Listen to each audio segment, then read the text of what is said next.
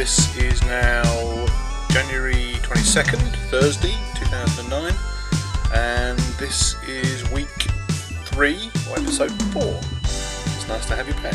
Thanks for making the effort. You're a star. Uh, we had a couple of technical problems last week, and hopefully, uh, now that Geoff's back in the UK, he had a, a fun time with the BBC over in DC um, and watching BO, uh, Barack Obama, be inaugurated, which would be lovely. Um, unfortunately, I don't believe he's lost any weight because um, he was eating American food, which is incredibly dense. Um, but we'll wait and see about that, and hopefully we're going to get all the video and stuff sorted out. But in the meantime, I thought it would be fun. Uh, in fact, someone suggested, uh, thank you, Claire, that I uh, do a little bit more about, uh, you know, the secret to my slimming success. Uh, you should weigh yourself uh, after you've done your um, business. Go. Keep. Zoom in.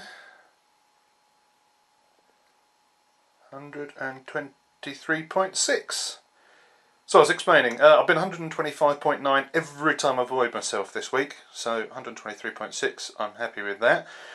And uh, what else was there? Oh yeah, my usual camera, um, the one that I usually use for these things, um, has um, uh, the batteries are flat. It's a stills camera, uh, I use it for video, but uh, batteries are flat this week, and uh, so I'm using this one. Sorry, it's my life. It's just full of excitement. It's true. Okay. Um, I don't know. Over to Geoff, perhaps. If not, then something else.